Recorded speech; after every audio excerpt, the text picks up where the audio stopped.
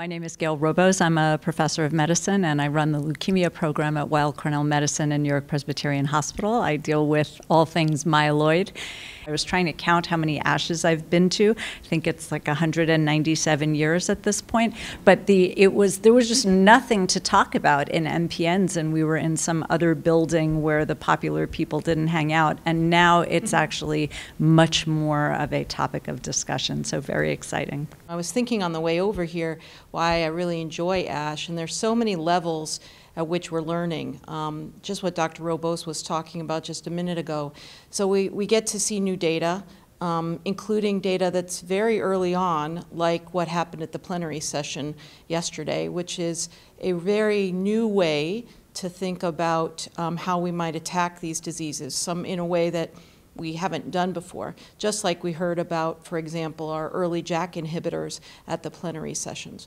We also get to meet together in um, sessions that are a little smaller. Um, so when physicians come to ASH, uh, we get together in these oral sessions and hear about the early results of clinical trials or laboratory-based trials and get to ask one another questions on those and really explore the data in a group setting. Um, ASH is also great because of educational sessions. Dr. Pettit, just here, is leading one of the educational sessions here, which is a great way to disseminate information on MPNs to physicians who aren't necessarily specialists, information to general practitioners, general oncologists, and to our trainees, our fellows, and uh, people that are learning to be oncologists. So it's a great way to take what's really um, something that may be routine for some of the specialists and make sure that the physicians who, who aren't necessarily at academic centers have an idea of what's new and expected uh, in the treatments of these. Thanks for having me. I'm Kristen Pettit from the University of Michigan. Um, and uh, yeah, I think there's a lot of exciting things going on over the past year. Uh, we now have three approved JAK inhibitors for patients with myelofibrosis. We have ruxolitinib, fedratinib, and now pacritinib that was approved uh, in February of this year, and um, likely a fourth, momelotinib, coming um, within the next six months also. So it's great that we now have options, uh, more options for patients with myelofibrosis.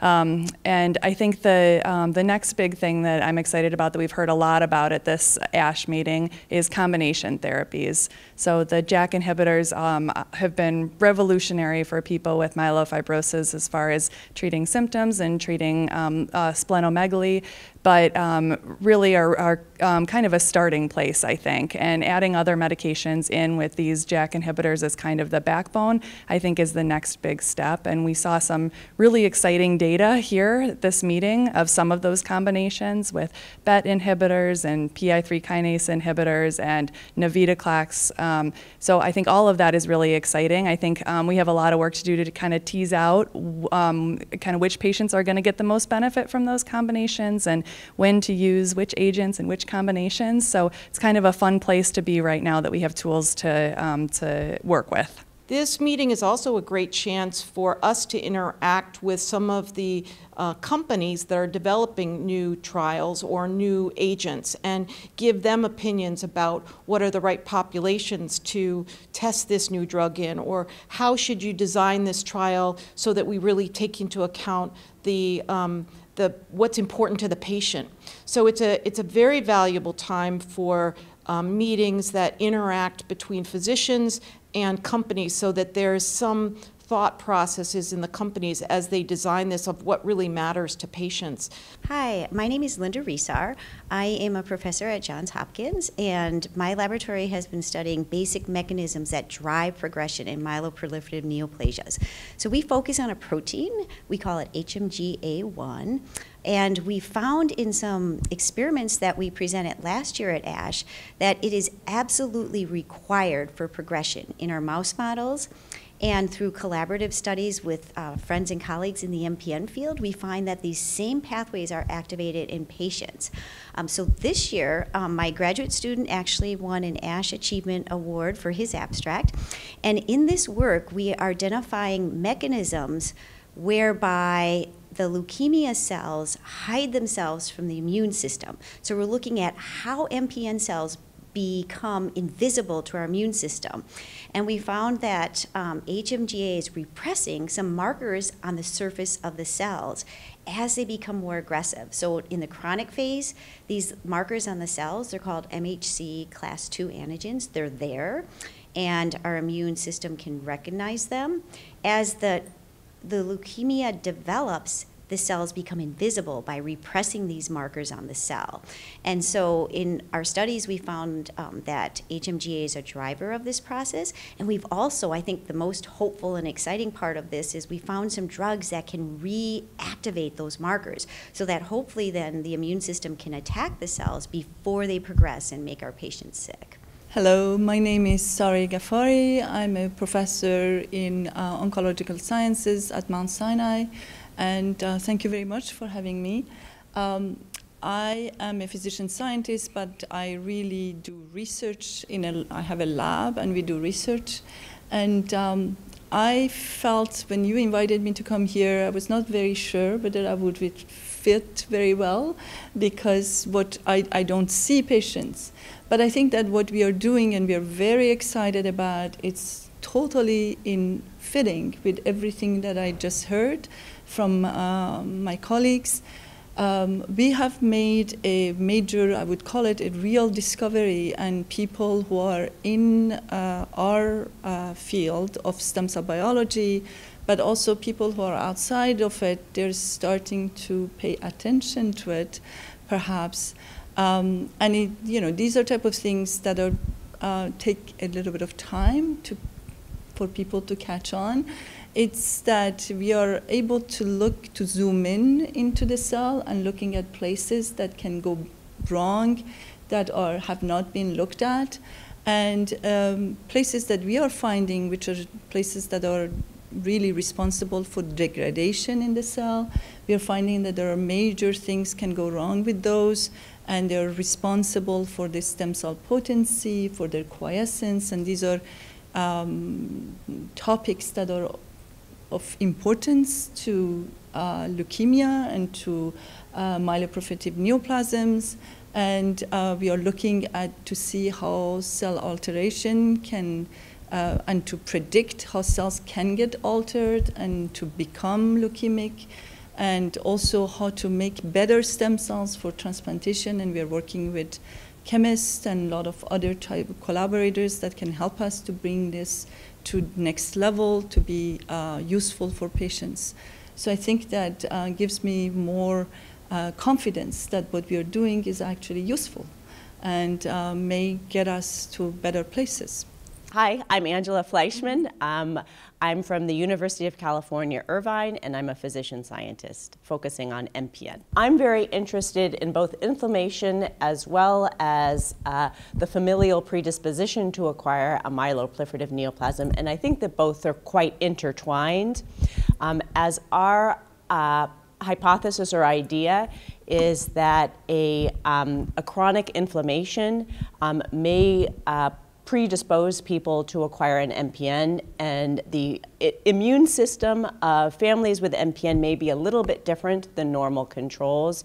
So we're doing a few different studies. Number one, looking at immune cells from MPN patients their unaffected family members and comparing them to normal controls um, on how much inflammation they're, they're um, producing. And what we found is that MPN patients, as well as some of their family members, when they get a stimulus to turn on inflammation, they turn it on, but unlike normal controls, they have difficulty turning it off. So when they, they get the signal to turn on inflammation, they just persistently make inflammation. And another thing that we're, we're building our cohort of um, MPN families um, with a few different um, purposes. Number one, to see whether potentially the unaffected or presumably unaffected family members may harbor some mutations that are also seen in MPN and just not be diagnosed with it yet, um, as well as um, trying to identify potentially some markers um, that predict for development of an MPN.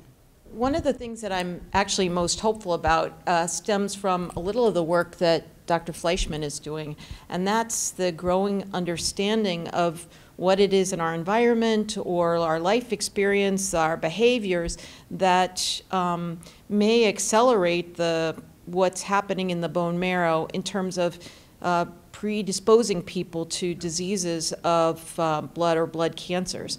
Um, there's been some really interesting work on the role of inflammation, like Dr. Fleischman talked about. And when I think about things that are helpful I, or hopeful, I think about like getting in at the beginning and uh, maybe being able to prevent some of these things from taking off or being so able to measure them at such um, early levels that we can intervene before it becomes a problem. So when I'm, um, I'm really hoping that eventually we can make some of this science um, quite, um, quite useful early on in, um, before people develop disease, um, just to maintain health instead of treat illness. My name uh, is Jeanne Palmer. I'm at Mayo Clinic in Arizona.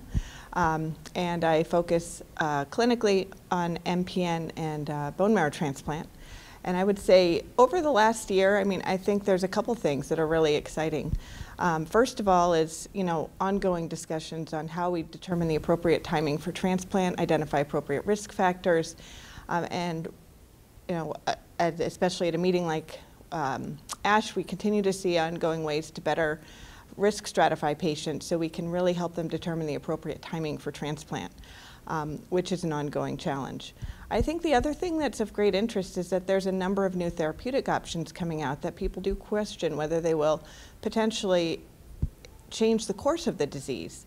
Um, and I think these are very exciting. I think we have a lot of data that's accumulating showing their benefit.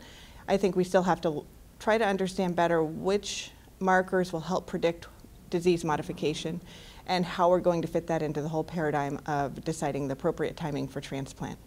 But nonetheless, I think there's a lot of different therapeutic options coming out that will really make us think hard about how we are proceeding with transplant in patients.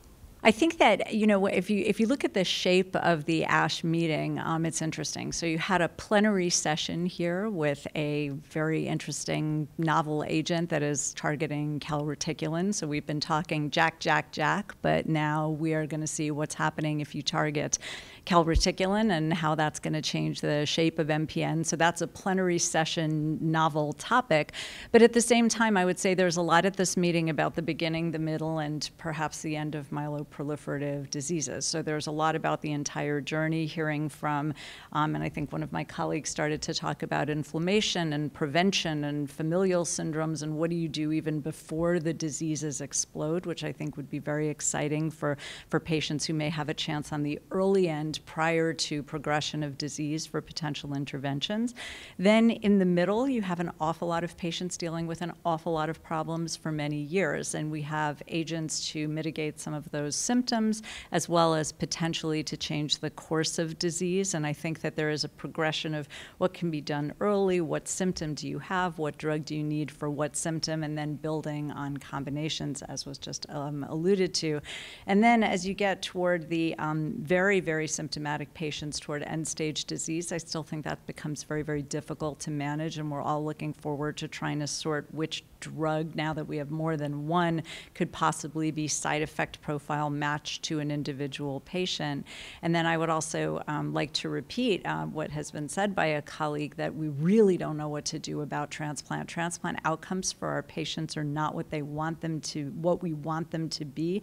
I find myself saying in clinic all the time that transplant is the only curative option, but I don't actually want to send the patient to a transplant. So I think we're looking forward to how to make transplant safer for those patients who really do have a potential and a reality of cure, and yet make sure that we aren't sending MPN patients to transplant where there's going to be a lot of toxicity without finally getting to, um, to cure of the disease. I would echo what a lot of people have said in terms of the hope. I think there's so many new therapies, so many new discoveries coming about that will really help us not only treat people earlier, but also treat people better. Um, and hopefully at some point, there will be medication so they won't need my transplant services anymore. But I don't think that'll happen for a while. I think I've been quite invigorated by this year's ASH with lots of new new data. I think for MPN patients, where I think we can be the most hopeful is in uh, the early stage MPNs, where probably um, this watchful waiting is probably not going to, you know, not going to cut it anymore, whether it's with new drugs or potentially really focusing on lifestyle interventions, which from my perspective can be just as impactful or even more impactful than, than drugs. So that's, that's what I'm most hopeful about. And it's also a social event. I mean, many of us, like everybody in the world felt that we weren't really having our community come together the same way and to be back in person and talk with one another, to collaborate on ideas, to remind myself that, oh yeah, Angela's studying that cool thing about inflammation. I'd like to read more of her papers. That kind of thing really happens face to face. So ASH 2022, like all of these annual meetings, is a chance to really um, get inspired again and make sure that we're uh, keeping our momentum going. Um, it's, it's, a great, it's a great meeting. So I come from a weird place called New York City where one of the actual grandfathers um, of MPN kind of hangs out. And he's here at this ASH meeting. And what's fun for me is that Dr. Richard Silver, who is in his 90s and roaming around the hallways of ASH, started out a really long time ago using interferon for MPN patients and telling us now the stories of how he was called basically, I think everything from nuts on down from there and not getting a lot of traction in the field and having so little to offer patients. Really, very, very little in the way of any kind of therapy. There was a little bit of aspirin that became useful, there was a little bit of Hydrea that became useful, and then there was some interferon. And now I think he's walking around pretty happy at ASH, watching lots of interferon, lots of new drugs, a lot of optimism. Um, patient symptom scores that are allowing patients to finally capture and tell us about what they're feeling so that we can accurately measure whether the drugs are working.